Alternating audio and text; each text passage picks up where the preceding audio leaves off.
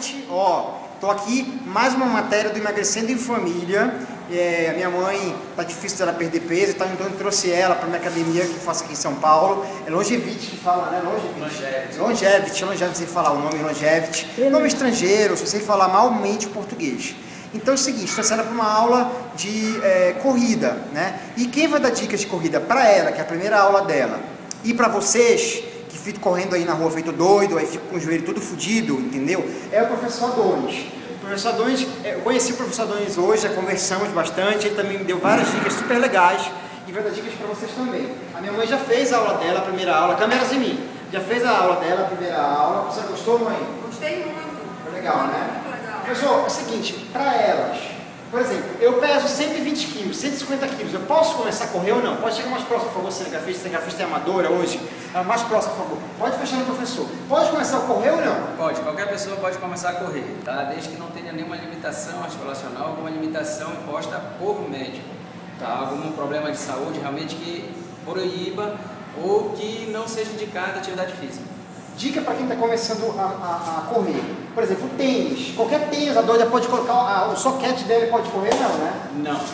É, dica principal para começar a correr é uma vestimenta adequada, tá? em que não vai lhe machucar, não vai lhe provocar assaduras, é, é, problemas de lesões na pele e descobrir o tipo de pisada. Você pode estar indo com um profissional, é, fisioterapeuta, ou treinador esportivo, ou um profissional de educação física que vai descobrir seu tipo de pisada e indicar o tênis perfeito. É porque o tipo de pisada fala se você pisa para dentro, para fora, e aí isso influencia no tênis que você vai comprar, tá? Às vezes tem alguns vendedores, não é tão indicado, mas tem alguns vendedores que, ou tem algumas lojas que tem algum aquele aparelho, né, que você já sabe qual é, enfim, qual é a sua pisada, e você compra, faz a identificação da pisada e você compra. Professor, é o seguinte, qual é a pisada correta na hora que eu for correr?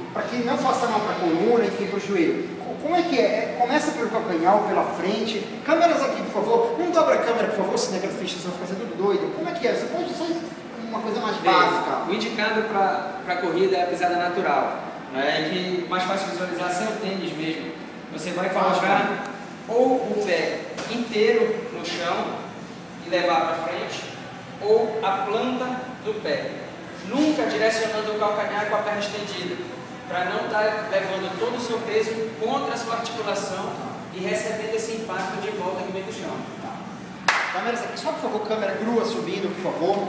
Agora sim, quem está começando, quanto tempo pode correr? Pode ficar correndo uma hora e meia, igual que elas correm, parece que estão correndo do ladrão, estão correndo da sogra, do marido, sei lá do quê. Pode ficar correndo uma hora e meia, porque está começando quanto tempo? Não, gente, é, a máxima da corrida é você entender que devagar se vai ao longe, um passo de cada vez. Inicie três vezes na semana, com 30 minutos de atividade leve, em dias intercalados. A partir daí, procure uma orientação profissional que você vai ser bem encaminhado. É sempre importante procurar a orienta- orientação de um profissional como o Adonis. Por exemplo, minha mãe está começando agora. Ela começa 30 minutos e outro dia ela tem que descansar para recuperar a musculatura, é isso? Exatamente, musculatura, articulação, todo o organismo, ele sofre uma agressão pela atividade física que não está acostumado. Então tem que ter toda essa recuperação, essa regeneração para poder estar pronta para outra atividade. Tá, vamos colocar filme para a mamãe ver se ela emagrece. Obrigado pela entrevista, tá? Adorei te conhecer. Quem quiser mais informações do Adonis, tirar do enche o saco dele, eu vou colocar embaixo do vídeo a página dele no Facebook, uma página super legal com várias dicas de corrida, quem quer começar a correr. A minha nova paixão é corrida, eu estou aprendendo muito